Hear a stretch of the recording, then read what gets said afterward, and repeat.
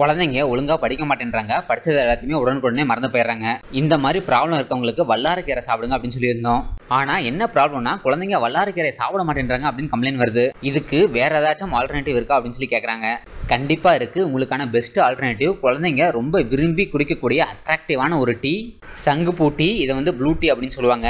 ஒரு அஞ்சு சங்குப்பூவை எடுத்து நூறு எம்எல் தண்ணியில் போட்டு கொதிக்க வச்சு வடிகட்டிட்டு அது கூட ஒரு குவார்ட்டர் லெமன் புளிஞ்சு விட்டு தேன் கலந்து கொடுத்தீங்க அப்படின்னா பார்க்கவே ரொம்ப அட்ராக்டிவாக இருக்கும். குழந்தைங்க விரும்பி குடிப்பாங்க.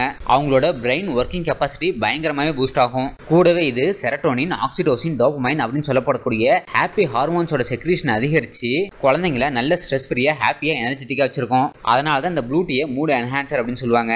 நூறு கிராம் சங்குப்புலேயே வந்து பார்த்தீங்கன்னா five forty one milligrams of anthocyanin இருக்குது இது என்ன பண்ணும் அப்படின்னா லோ டென்சிட்டி லிப்போ புரோட்டீன் அப்படின்னு சொல்லப்படக்கூடிய கெட்ட கொழுப்பை கரைச்சி ஹார்ட்டுக்கு நல்ல ஒரு பிளட் ஃப்ளோவை கொடுக்கும். இது பெல்லி ஃபேட்டை கரைக்கிறது மட்டும் இல்லாமல் ஆன்டி கேன்சர் ப்ராப்பர்ட்டிஸ் இருக்கனால கேன்சர் செல்கள் உருவாகிறத முன்கூட்டியே தடுத்துரும்.